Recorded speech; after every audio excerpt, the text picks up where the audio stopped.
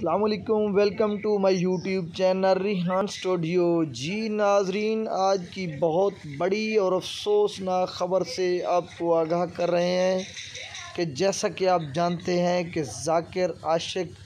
BA को कल शहीद कर दिया गया था। दौरान मसियालकोट में दौरान मजलिस शहीद कर दिया गया था।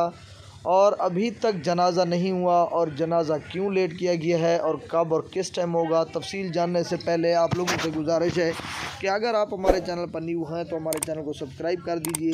और साथ में लगी बेल आइकन को ज़रूर प्रेस कीजिए ताकि हर नई आने वाली वीडियो नोटिफिकेशन के ज़रिए बर वक्त आप लोगों तक पहुँच जाए। जी नाजरीन, बताया जा रहा है कि उन उन्होंने जनाज अहल तशी ने जनाजा अदा करने से इनकार कर दिया और उस वक्त तक जनाजा नहीं होगा जब तक इनके कातलों को पकड़ कर सज़ाए मौत नहीं दी जाती।